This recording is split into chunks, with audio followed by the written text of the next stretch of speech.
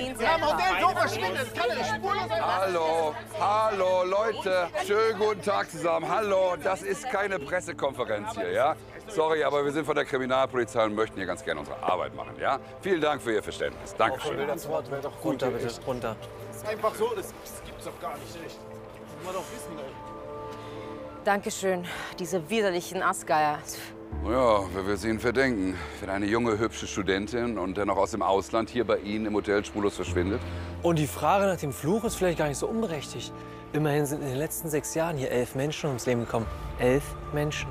Nicht Ihr Ernst, oder? Jetzt wollen wir wieder mit alten Geschichten anfangen. Ich habe gerade genug Probleme. Frau Brück, wir sind nicht hier, um Probleme zu machen, sondern um diese zu lösen. Sagen Sie mal, für so ein, ich sag mal, günstiges Hotel sehe ich relativ viel Kameras. Wie kommt denn das? Ja, das Hotel steht in einem problematischen Viertel und das zieht leider auch problematische Gäste an. Und die Kameras, die dienen der Sicherheit. Gut, dann möchten wir die Aufnahmen aus der Nacht, als die Studentin verschwunden ist, gerne mal sehen.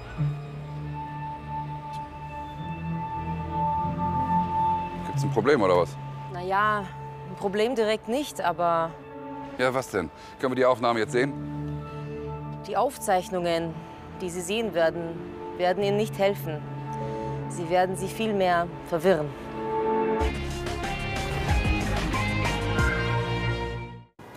Das ist das Video aus der Nacht, äh, in der Frau Braun verschwand. Und das ist das Bild unserer Überwachungskamera in den Fahrstühlen. Ja, dann lassen Sie mal laufen.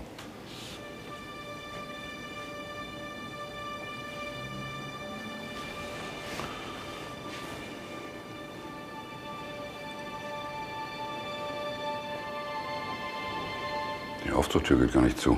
Ja, das haben wir uns auch gefragt. Aber unser Hausmeister hat uns später versichert, dass da kein Defekt an der Tür vorlag. Aber passen Sie auf, jetzt wird es richtig merkwürdig. Sieht fast aus, als wenn sie sich vor jemandem verstecken würde da. Aber da ist ja niemand. Jetzt passen Sie auf. Es wird ganz verrückt. Mit wem redet sie denn? Vor allem ohne den Mund zu öffnen.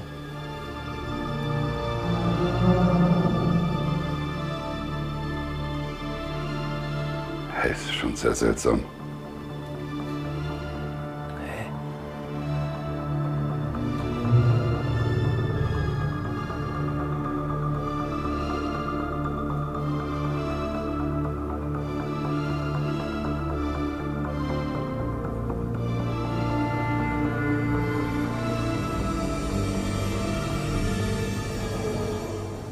Und jetzt schließt die Tür. Was war das? Hab ich, hab ich doch gesagt, das, äh, das Video wirft mehr Fragen auf, als es beantwortet. Ja, aber es gibt ja noch mehr Kameras hier. Wo sind denn die Aufnahmen davon? Sie muss ja irgendwo drauf sein. Wir müssen ja feststellen, ob sie das Hotel verlassen hat, wann sie das Hotel verlassen hat, ob ihr jemand gefolgt ist. Diese Dinge. Ähm, Ja. Was ist denn jetzt schon wieder? sonst ist sie nirgends zu sehen. Was soll das heißen? Ja, das heißt, dass keine der Kameras sie beim Rausgehen gefilmt hat. Moment mal. Sie wollen damit sagen, dass sie seitdem das Hotel nicht verlassen hat? Die Aufnahmen brauchen wir trotzdem zur Auswertung.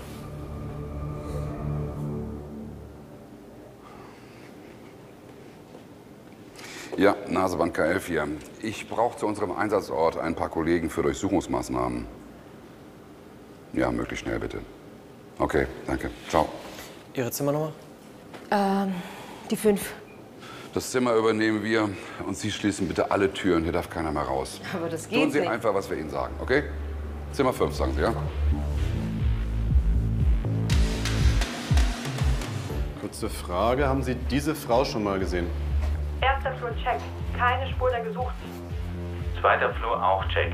Niemand hat die Gesuchte gefunden. Die kann sich doch nicht in Luft aufgelöst haben. Verstanden.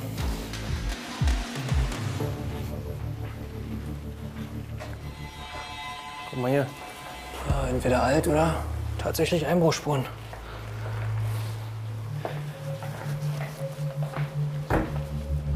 Wie alt meintest du, ist Hannah Braun? 21.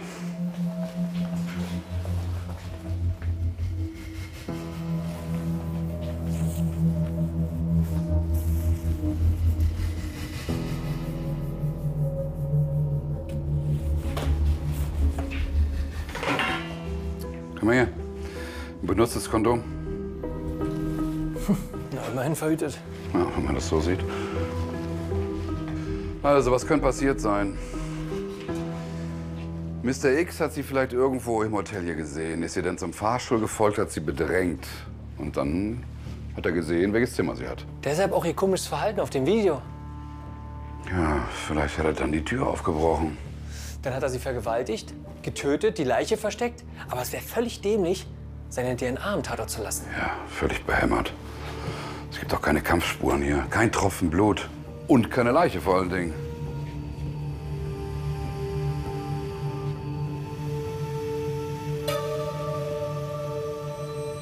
Wissen wir, ob sie irgendwie ein gesundheitliches Problem hatte? Nichts bekannt. Drogenprobleme vielleicht? Kollegen, einer der Gäste hat sich auf seinem Zimmer verbarrikadiert und wehrt sich gegen die Durchsuchung. Timo Becker hat das Zimmer seit drei Tagen gebucht. Der Kollege holt gerade die Ersatzkarte von der Rezeption. Seit drei Tagen, ja, das würde passen. Sie wird seit drei Tagen vermisst.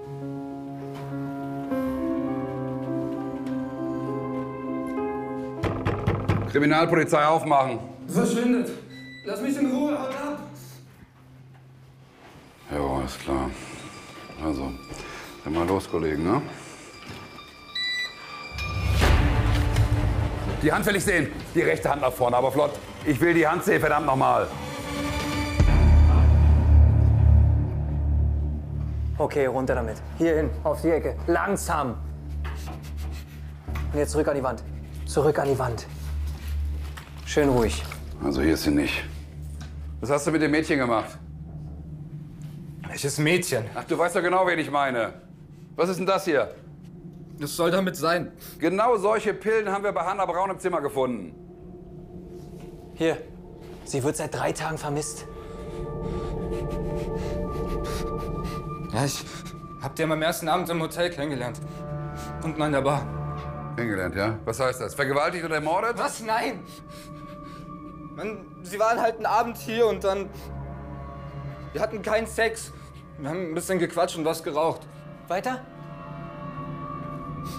Dann hat sie mir diese Pillen gegeben. Sie hat gemeint, sie würde sich damit besser fühlen. Was heißt denn besser fühlen? Was weiß ich, Mann? Bin ich Arzt oder was? Weiter. Was ist dann passiert? Dann habe ich mir vier von diesen Teilen eingeschmissen. Die haben mich ganz schön weggeblasen. Junge, ich glaub dir kein Wort. Was ist mit dem benutzten Kondom in Ihrem Zimmer und mit der aufgebrochenen Tür? Welches Kondom? Welche Tür, Mann? Wir waren die ganze Zeit hier und haben uns vollgedrückt. Ich schwör's. Der Schwur eines Fixers. Großartig. Wir finden noch heraus, ob du die Wahrheit sagst.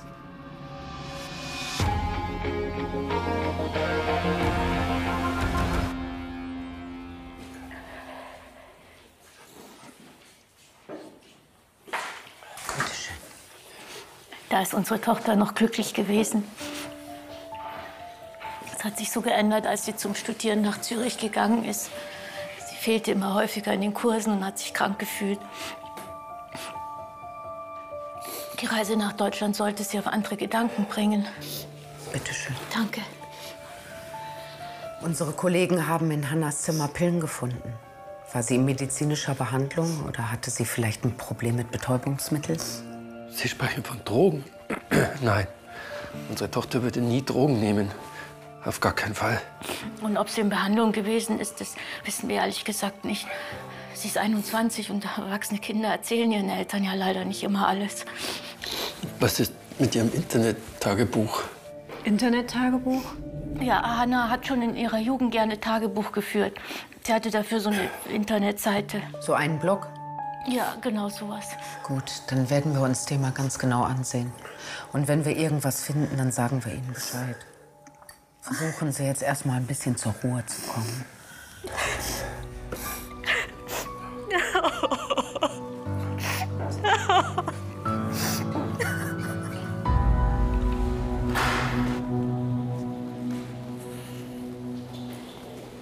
Spurensicherung ist da. Die nehmen sich gleich das Zimmer von Hannah Braunfeuer. Ah, Okay. Das macht die Durchsuchung. Ja, wir sind fast durch. Außerdem Junkie will niemand was gesehen oder gehört haben. Wir gehen jetzt noch in den Keller und dann sind wir fertig. Und wie sieht's aus? Sie hatten recht. Mehr Fragen als Antworten. Aber ein paar Antworten können Sie uns vielleicht geben. Zum Beispiel die Zimmertür von Hannah Braun. Wir gehen davon aus, sie wurde aufgebrochen. Und Sie haben da wahrscheinlich irgendwas Sexmäßiges darin gefunden. Stimmt's? Waren Sie auch in dem Zimmer? Nein, das müsste ich gar nicht, aber ich habe geraten. Wissen Sie, es kommt öfter vor, dass Unbekannte in die Zimmer des Hotels einbrechen, um dort Sex zu haben oder noch mehr. Also die Gegend ist, wie gesagt, nicht die beste. Ja, da haben Sie recht. Hallo, wie kann ich Ihnen helfen? Hallo, also hören Sie mal, die Klimaanlage funktioniert immer noch nicht. Das ist eine richtige Zumutung. Tut mir leid, aber unser Hausmeister hat die komplette Anlage erst vor vier Tagen überprüft. Aber er wird sie sich erneut anschauen. Es tut uns leid. Entschuldigen Sie mich.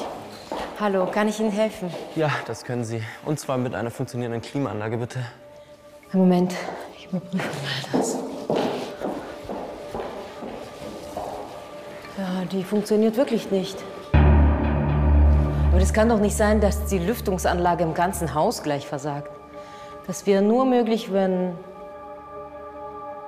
Ben? wenn etwas den Zentralschacht im Keller blockiert. Ja, dann sollten wir uns mal den Keller ansehen. Nach Ihnen. Folgen Sie mir.